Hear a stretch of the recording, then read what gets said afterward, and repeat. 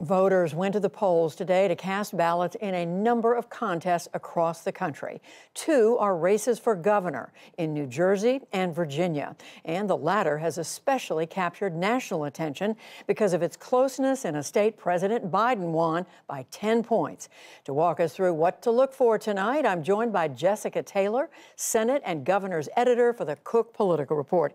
Jessica, very good to have you with us on this election day as the as the results are coming in. And in fact, we do have some early uh, exit numbers to look at. But before we do that, what has made this Virginia contest as, as watchable as it's been and apparently as close as it is? Well, this has been traditionally a bellwether that happens the year after a presidential election. And um, going back to the 70s, typically, the opposite party that just won the White House typically wins this governor's race, except for in 2013 when Terry McAuliffe broke that streak. He's trying to do that again. And we have really seen a reflection of how things have soured for Democrats in the Biden administration. This is a state that Biden won by 10 points just a year ago. His approval rating is now in the low 40s. And you have uh, Glenn Youngkin, who is um, uh, businessman. He's helped self-fund his campaign. He's able to spend almost dollar for dollar what Democrats um, have in this race, and that hasn't happened since 2009. And that was the last time that a Republican was elected statewide in Virginia. And he's made this a referendum on education, on um, the economy, on you know when people are seeing high prices at the pump. When they go to the grocery store, they're seeing inflation. And that's mm. really contributed to a sense of frustration. And as we as we mentioned, we are getting some early mm-hmm. exit polls. Again, we don't have the the polls aren't closed yet. They won't right. close. excuse me till seven o'clock.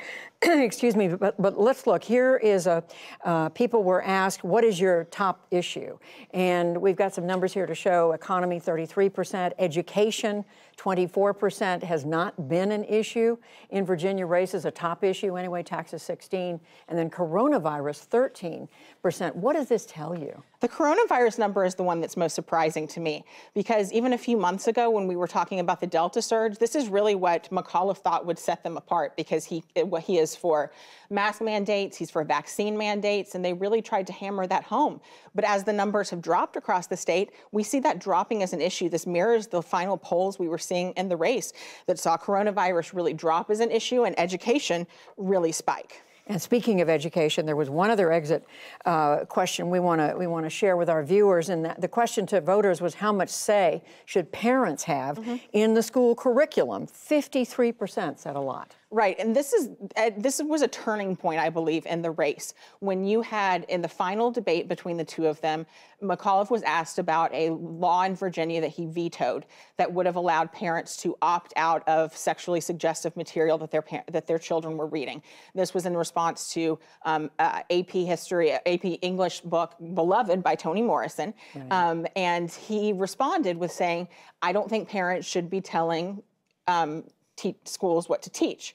That was a gift for Youngkin. It was a soundbite that they put up immediately. And Democrats I talked to, McAuliffe took a while to respond to this. He finally had to go direct to mm. camera to respond, but we saw again, and that like we are seeing in the polling and like we're seeing in this exit polling, education skyrocket is an issue, and that's really Youngkin has held parent rallies for parents, parents matter rallies. That's been his rallying cry. He's getting big crowds at them. McAuliffe, of course, saying that he meant that in the narrow sense, mm -hmm. but the uh, but the Republican campaign has has made, as yeah. you said, a huge issue. Just quickly, let me ask you, Jessica Taylor, about uh, New Jersey. Phil Murphy, the Democrat running for reelection. It's been a Democratic mm -hmm. state. What are we looking for there? Well, well, if he wins re-election, he would be the first Democrat to win a second term uh, since 1977. So a little history could be made here too.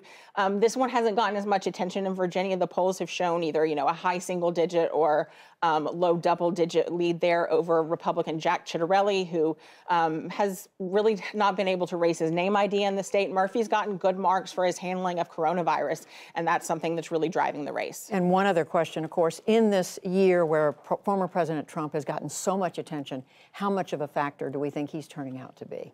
McAuliffe is hoping that he is a factor and, and one that will motivate Democrats to come off the bench. We and this has been also another uh, key key thing in the Virginia race is that Republicans are more engaged, they're more energized.